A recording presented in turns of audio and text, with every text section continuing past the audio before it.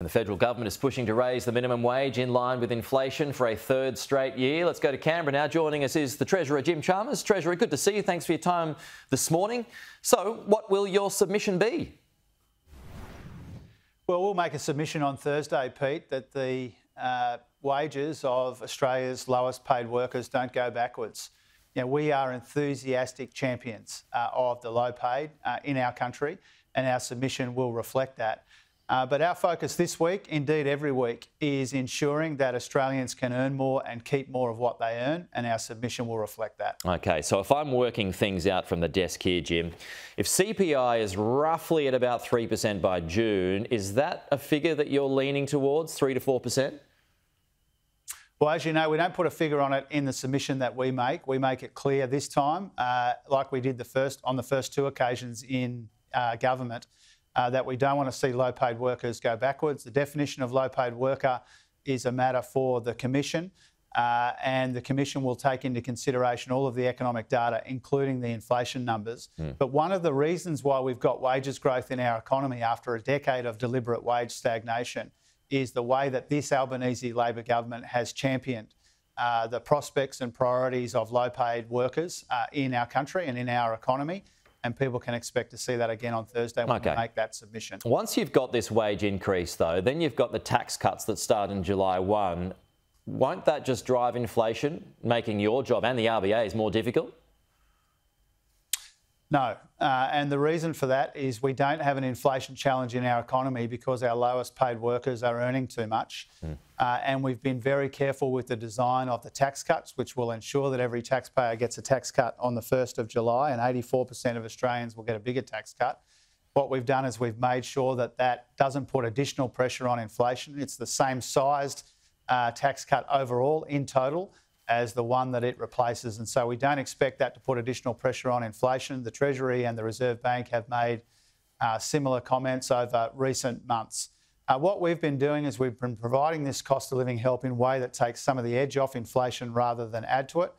And we recognise that when it comes to these cost of living pressures that people are under, uh, one of the best ways to help people deal with that is to make sure they're getting decent pay and also to make sure they're keeping more of what they earn our submission of the minimum wage uh, decision is part of that, and the tax cuts on the 1st of July are part of that too. Newspoll has got you heading for minority government uh, next year, Treasurer. That's a trend that we saw in Tasmania over the weekend. Will that make your task more difficult? Well, first of all, the Tassies have got a, a very different uh, electoral system. And when it comes to opinion polls, they don't always pick the outcome of elections even a week or two out from uh, election day, and it's it's probably around a year from election day. And so, uh, the thing I would say about those opinion polls is, you know, we have always anticipated that the next election will be close and hard fought. We don't take any outcomes for granted when it comes to the next election. Uh, we are working our tails off around the clock uh, to try and give people the government that they need and deserve. A big part of that is helping to ease some of these cost of living pressures that people are under. My job is not to respond to the political cycle when I put the budget together, it's to respond to the economic cycle. And that's why you'll see a combination of cost of living relief, budget repair, and also laying the foundations for longer term growth in our economy by focusing on investment. Just finally, as um, one of Brisbane's highest profile figures, uh, we have uh, done plenty of coverage on the Olympics and the missteps so far by the state government. Have you got any concerns about stadium plans so far, Treasurer?